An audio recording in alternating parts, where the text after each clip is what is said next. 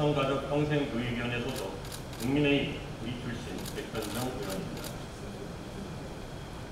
정치가 신뢰를 회복하려면 주권자와의 약속이 지켜져야 된다. 공약은 주권자인 국민들과의 공적인 약속이고 이를 이행하는 것은 기본적인 신뢰의 문제이자 선출직 공직자로서 책임과 의무를 다하는 것이다. 이 말은 지난달 25일 한국 매니페스토 실천본부 평가에서 공약을 가장 잘 이행하고 있는 자치단체장에 3년 연속 선정된 이재명 지사님께서 하신 말씀입니다. 오늘 본 의원은 이재명 지사님께서 추진하시던 공약 중 폐기되어버린 구리남양주 테크노밸리 사업에 대한 문제점을 말씀드리고 객관적인 입장에서 사업을 재검토해 주시기를 요청드리고자 합니다. 특히 구리 지역 테크노밸리 사업의 경우 지역 주민들의 동의 과정 없이 구리시에서 사업을 철회하였다는 이유만으로 경기도에서도 포기한 사업으로 경기도의 입장에서 적극적으로 사업을 다시 검토해 주시기를 제안하고자 이 자리에 섰습니다. 먼저 테크노밸리 사업의 사업성 분석 결과에 대한 문제점을 말씀드리겠습니다.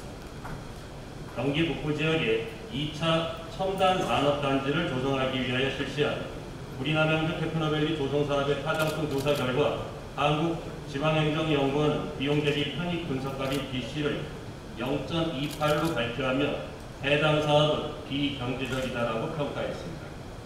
그러나 한국지방행정연구원 조사 전 경기주택도시공사에서 발표했던 우리나라항주 테크노밸리 조성사업 기본계획 용역 보고서에서는 BC값을 1.13으로 경제적 타당성이 있다라고 분석한 바 있습니다.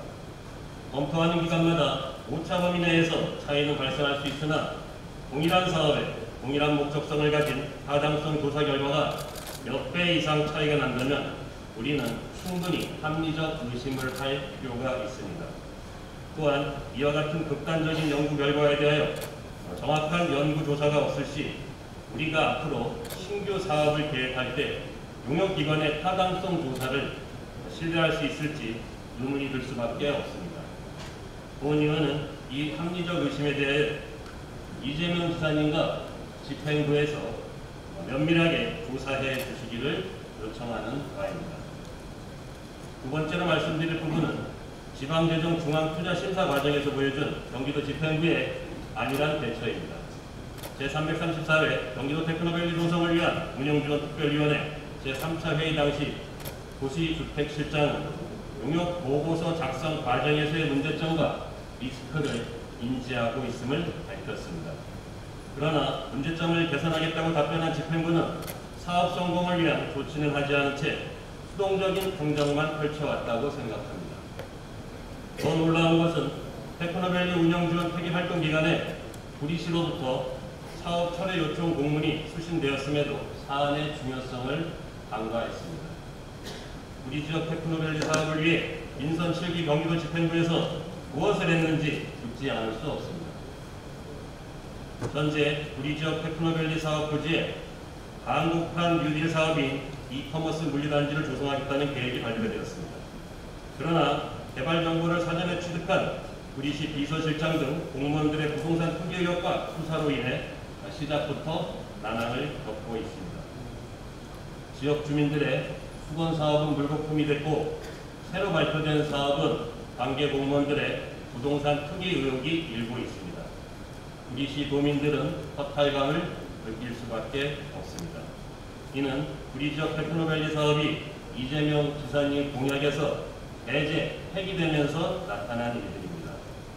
처음부터 경기연구원과 경기주택도시공사에서 작성한 보고서를 면밀하게 검토했다면 이 사업에 대한 공약 폐기는 일어나지 않았을 것입니다. 경기도가 추진 중인 5대 공약 365개 공약은 31개 시군에서 공정하고 정의롭게 실현돼야 합니다. 이재명 지사님, 말씀하신 대로 공약에 대한 책임과 의무를 다해 주십시오. 우리 지역 테크노밸리 사업이 부활될 수 있도록 특단의 조치를 취해 주시기를 당국히 부탁드리면서 발언을 마치고자 합니다. 끝까지 경청해 주셔서 감사합니다.